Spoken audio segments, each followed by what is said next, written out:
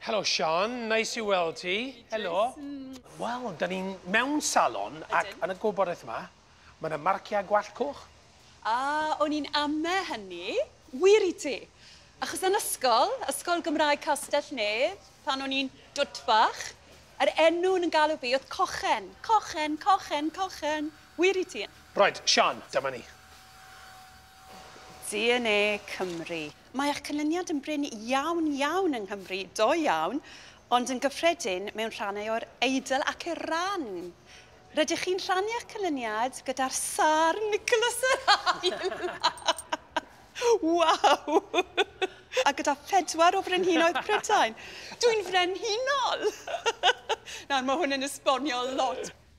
Chwilot wraig, Chwilotraig, na chi air, ffantastig. Mi ydw i'n chwilotraig.